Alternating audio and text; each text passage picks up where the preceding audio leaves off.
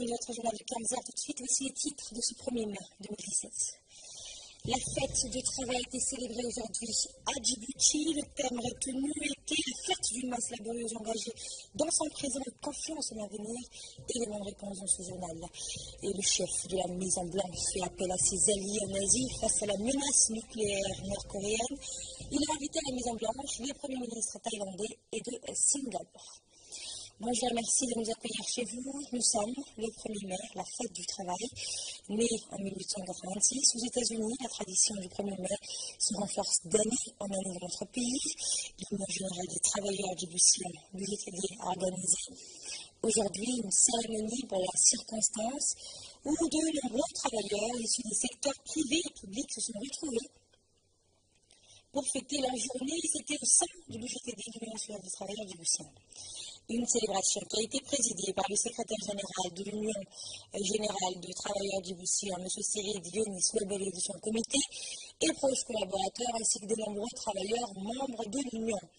L'événement a été placé sous le signe de la fête d'une masse laborieuse, engagée dans son présent et confiant en son avenir. Au programme, il y avait de l'animation musicale, des danses traditionnelles, des discours prononcés,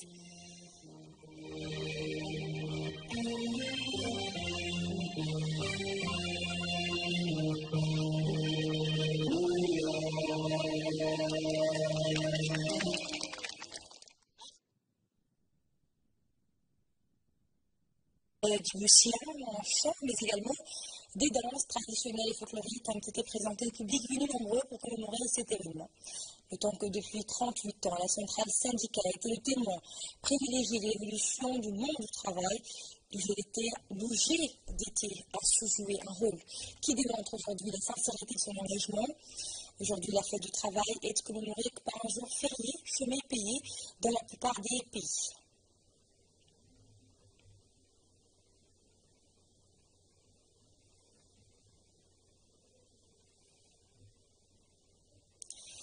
Dans un discours prononcé à cette occasion, le secrétaire général de l'Union générale des travailleurs du M. Cyril Dionis Waboli est revenu sur l'historique de ce rassemblement et a rappelé que c'est l'union entre tous les travailleurs djiboutiens qui faisait leur force. Il nous a-t-il dit aux syndicalistes, à faire avancer le chantier de réforme de la législation du travail. en écoute. En ce jour de fête du travail, je voudrais en premier lieu présenter nos meilleurs vœux de succès et de prospérité au président de la République, à la première dame et aux membres du gouvernement et à l'ensemble de la population judiciaire. La célébration d'aujourd'hui se situe dans un contexte historique particulier car notre pays fête ses 40 ans cette année. 40 ans de combat pour faire avancer les droits des travailleurs, car dans laquelle tout progressivement nos acquis sociaux, nous avons fait en sorte de partir en socle des codes et des lois solides pour le bien-être de cette branche professionnelle, autant du public que du privé.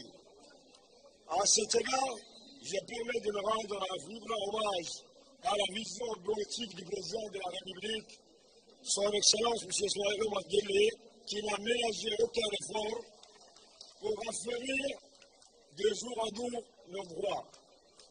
Ainsi, la commémoration du 1er mai est toujours un nouveau jalon sur le parcours de notre nation de par l'essence profond et le symbolisme qu'elle véhicule. Elle a toujours traduit notre commune volonté de nous ressourcer dans notre vie passé et de nous inspirer constamment de l'ardeur et du courage et du combat victorieux mené par nos meilleurs précédents dans la réalisation de nos ambitions fortes par notre masse laborieuse.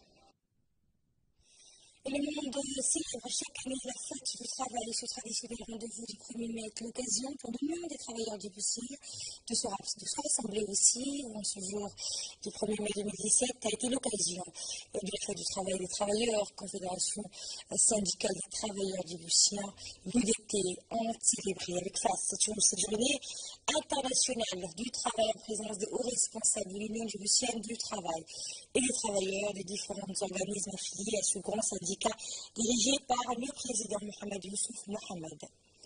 De la tribune, le secrétaire aux affaires arabes du syndicat de l'Union djiboutienne du travail, M. Blam Mohamed Abdou, a d'abord adressé ses meilleurs voeux aux travailleurs djiboutiens dans leur ensemble. Cette journée euh, solennelle est un moment privilégié pour les travailleurs et pour le reste du partenaire, sociaux d'examiner ensemble les progrès réalisés et les préoccupations nouvelles du monde du travail. Il a rappelé que cette fête est célébrée le 1er mai de chaque année par une journée fériée légale dans certains pays comme le nôtre. La secrétaire aux affaires féminines, Mme Fatima Moussa, secrétaire, a quant à elle donc mis en exergue du genre en matière de l'emploi, du travail et des salaires des femmes. Les femmes, a-t-elle souligné, ont les mêmes droits et bénéficient des mêmes avantages que les hommes? Des avantages, selon la secrétaire aux affaires féminines de l'Union des travailleurs djiboutiens, liés à l'exercice de la profession. Cela engage le respect et la considération de l'employeur vis-à-vis des personnels féminines de son service ou organisme assure la direction. L'événement été placé sous le signe de la fête d'une masse laborieuse engagée dans son présent et confiant en son avenir. Le président du syndicat des travailleurs djiboutiens, Mohamed Youssouf, a mis l'accent ce matin sur les souhaits et revendications des travailleurs djiboutiens. Suivant présent ces quelques réactions des participants. La fête du travail et des travailleurs, c'est un vrai plaisir et joie de nous retrouver ici tous ensemble avec vous à célébrer cette journée de fête internationale du travail devant notre ciel unité. Chers camarades, cette journée que nous commémorons en partage avec les travailleurs du monde entier se veut une affirmation forte des droits acquis et des revendications en cours sur les thèmes halte à la cupidité des entreprises. Le monde a besoin d'augmentation salariale. Avant de passer à nos percusseurs, je vais parler de notre grand héros Ahmed Chamrege qui est décédé il y a deux mois à l'Arham. Nos professeurs ont mené de longues luttes sur les terrains sociaux infranchissables et se sont adonnés à des combats inégaux, mais juste contre les employeurs et les détenteurs du pouvoir public au seul d'instaurer un monde du travail, de fixer les conditions minimales de vie des travailleurs et d'instituer les normes et les libertés du travail à établir le syndicalisme libre et souvent au prix, de leur. Vive l'unité, vive la solidarité des travailleurs, bonne fête du travail à toutes et à tous. Vive le 40e anniversaire de l'indépendance de Djibouti. Vive la République de Djibouti. Vive le président Ismaël Omar Guelleh. Et c'était le président du syndicat des travailleurs du Bruxelles, M. Mohamed Youssouf Mohamed, qui a donc mis l'accent ce matin sur souhaits et les revendications des travailleurs du Bruxelles, qui a par la suite, comme vous l'avez suivi, souhaité bonne fête à tous les travailleurs. Suivant à présent une réaction des participants.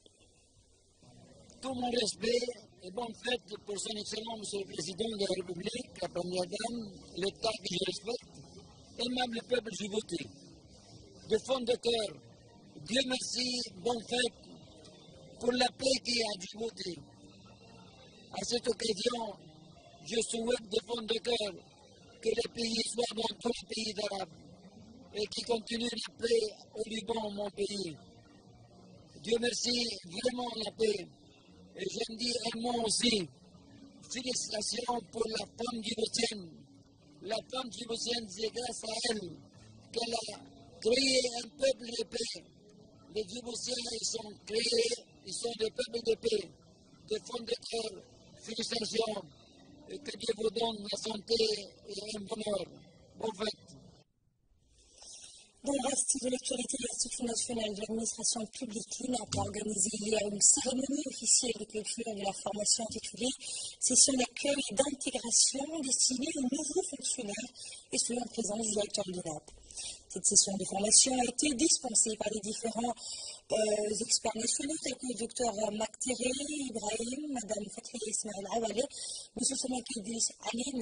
Abi Farah Idli, M. Ahmed Moussa Ahmad et M. Ali Mohamed Kamel. Cette session s'est ouverte le 14 mars et c'est donc clôturée hier.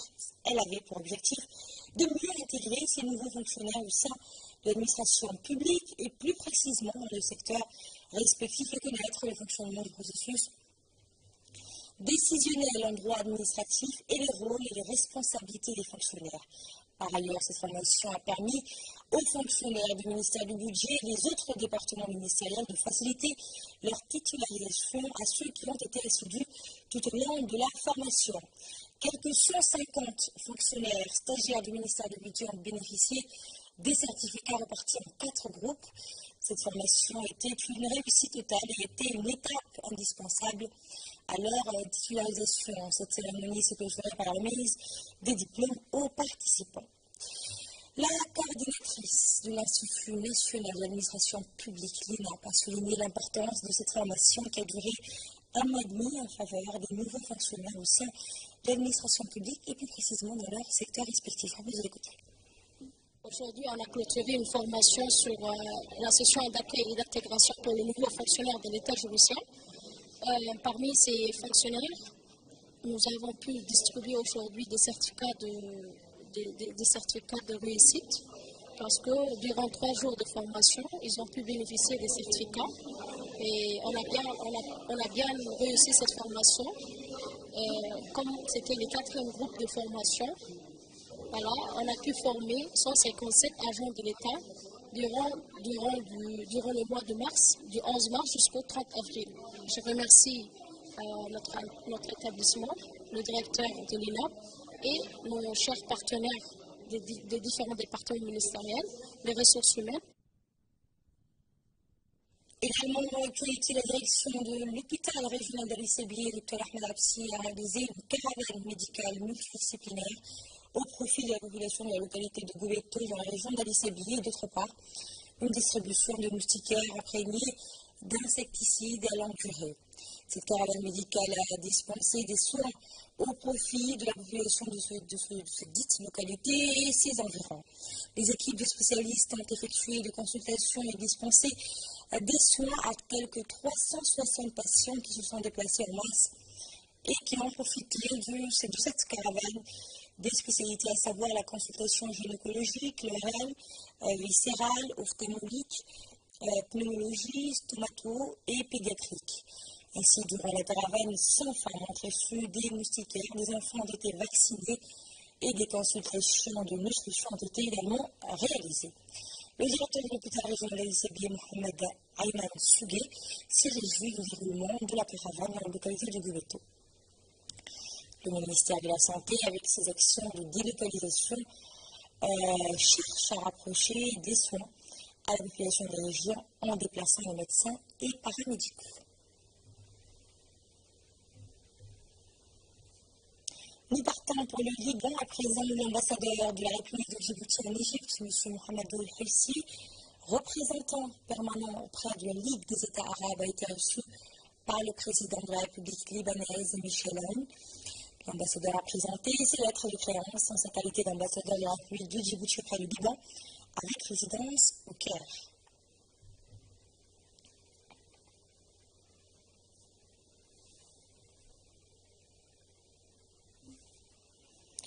Également de l'actualité, le Centre de développement communautaire de Wahid a abrité hier une cérémonie de clôture de formation en informatique pour les jeunes du quartier, une formation dispensée par un jeune licencié de l'Université de Djibouti ayant un certificat en informatique. Celle-ci a permis à une trentaine euh, de jeunes garçons et filles de maîtriser tous les outils bureautiques, à savoir le Microsoft, Office Word, Excel, le PowerPoint et autres. Au bout d'un travail intense de six jours, les jeunes se sont vus récompenser du certificat testant leur niveau et la base en informatique qui pourra désormais leur ouvrir des portes dans les milieux professionnels. La cérémonie de la participation du secrétaire général du secrétaire d'État au sport, Mohamed Ahmed Farah, du directeur administratif, M. Mohamed Farah, du responsable de la commission de supervision des festivités du anniversaire de Ahmed Daoud et la présidence du réseau des associations de Mme Madame M. Ahmed, des sages du quartier ainsi que plusieurs participants, en majorité des jeunes y pris part.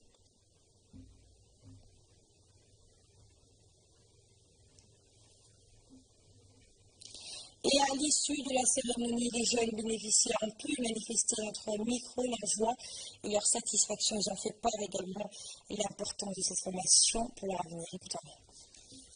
C'est une très grande fierté pour nous aujourd'hui d'être rémunérés et certifiés dans cette CDC de Haridaba. On a fait une formation de six mois sans se fatiguer, en plus que ça c'était bon dans l'été. On a bien fait, on venait toujours à l'air, on a bien fait, on a bien travaillé, on, a beaucoup, on était aussi beaucoup formés avec aussi l'aide de notre professeur M. Habib, qui dit lui remercier. On a fait d'abord le Word, on a fait Excel, on a fait aussi une PowerPoint, on a fait plusieurs logiciels que je ne savais pas. On a fait aussi l'étude des claviers que je ne savais vraiment pas. C'est une très grande honneur aujourd'hui d'être certifié pour moi. En plus que ça, j'avais fait tous mes efforts pour rien, de venir ici au CEC. En plus, on va vous former gratuitement.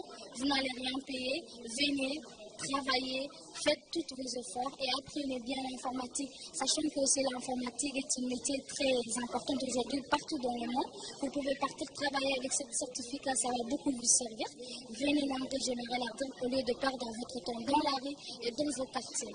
Venez nombre Général et autre atelier, mais cette fois en entrepreneuriat, après la région d'Arta et Lissabier, la caravane de l'entrepreneuriat poursuit sa tournée dans le nord du pays. C'était le tour de la ville blanche ce matin d'accueillir la caravane. Ainsi, la cérémonie d'ouverture a eu lieu les locaux du conseil régional de Tadjoura en présence des élus locaux ainsi que les leaders de la société civile de cette région. Notez que cette caravane de l'entrepreneuriat, organisée par l'Agence nationale de l'emploi, de la formation et de l'insertion professionnelle à l'EFI, est appuyé financièrement par l'USAID euh, dans le cadre de la promotion de l'auto-emploi chez les jeunes diplômés. Il s'agit en effet de former les jeunes dans le domaine de la création d'entreprises, axés sur la gestion de projets, notamment sur la formulation de euh, business plan, afin de présenter un projet bancable dans le but d'accélérer le financement auprès des institutions financières. Quelques 20 jeunes auront bénéficié de cette formation durant une semaine et par ailleurs, pour les faire profiter pleinement de cette formation, la a dépêché un cadre de son département d'occurrence, M. Ahmed Ali Dimbio, expert en matière de création d'entreprise et de l'emploi des jeunes, qui est déjà en charge au sein de cette institution d'accompagner les jeunes prometteurs dans le processus de création d'entreprise. Écoutons à présent M. Ahmed Dimbio, expert en matière d'entrepreneuriat et formateur principal de cette session, qui a précisé que cette euh, formation consiste à préparer les futurs entrepreneurs dans la région. Les jeunes vont bénéficier, selon lui, pendant une semaine de formation intensive dans le domaine de la création d'entreprises. Et remercier l'USAID qui a apporté son appui financier également le président du Conseil régional de Tadjoura. Nous sommes aujourd'hui euh, ici à Tajoura, dans le cadre de la caravane de l'entrepreneuriat. La caravane de l'entrepreneuriat euh, consiste à organiser des sessions de formation entrepreneuriale dans les régions de l'intérieur pour les jeunes diplômés. Nous allons former ici à Tajoura 20 jeunes euh, en matière de création d'entreprise pendant une semaine. Donc cette formation est, organisée par l'ANEFIP, par l'Agence nationale de l'emploi et financé par l'ICA2 et OCA2. Donc, euh, nous remercions euh, les conseils régionaux, euh, le préfet d'État Jura et l'ensemble de la société civile qui, a accueilli favorablement cette caravane. Passons à présent à l'actualité internationale. Donald Trump se rapproche de ses alliés en Asie.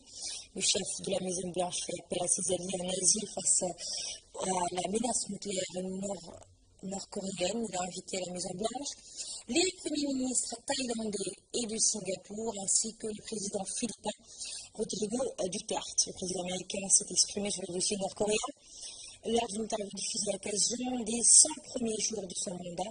Je ne serais pas content s'il fait un test nucléaire, je ne serais pas content. Et je peux aussi vous dire que je ne crois pas que le président chinois, qui est un homme très respecté, ne serait content non plus, a-t-il déclaré Pyongyang a procédé hier un tir de missile balistique qui a échoué quelques heures avant le tir de missile raté. Des exercices militaires conjoints ont débuté au large de la péninsule coréenne entre les armées américaine et sud-coréenne.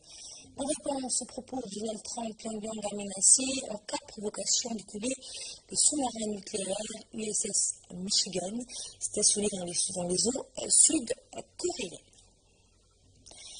En Allemagne, déjà des manifestations contre un éventuel Frexit. Pulse of Europe, c'est le nom de ce collectif qui s'est réuni hier à Berlin pour appeler à une Europe unie et démocratique. Comme chaque semaine, ces europhiles militants se rassemblent pour montrer que l'idée européenne, si elle vacille, souvent aujourd'hui peut résister aux crises.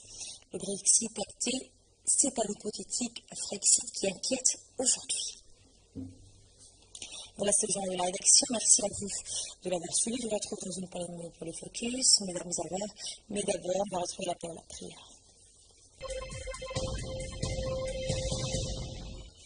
Place maintenant au focus, c'est un bonjour. Bonjour, Et l'ADN des emprises historiques retrouvées dans la bouffe des grottes, c'est une nouvelle méthode scientifique. Oui, effectivement, une nouvelle méthode scientifique a permis de constituer l'ADN de nos plus anciens ancêtres à bout de prélever de grotte. La technique ouvre des nouveaux horizons à l'étude du genre humain, son enthousiasme. Les scientifiques, les restes d'hommes préhistoriques ne sont pas le seul objet qui peuvent aider les scientifiques à percer le secret de l'évolution. Une nouvelle titre menée par un groupe international de chercheurs et dirigé par des spécialistes de l'Institut Max Planck d'anthropologie de l'évolution a démontré qu'il était désormais possible d'obtenir de l'information génétique concernant nos ancêtres à partir d'une petite quantité de boules. L'essentiel est de savoir où et comment la prélever.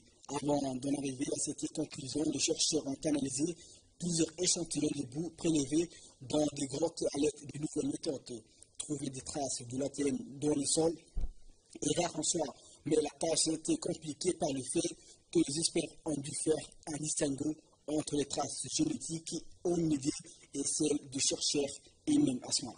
Merci Oussara merci à vous qui nous suivez, très bonne fête à toutes et à tous.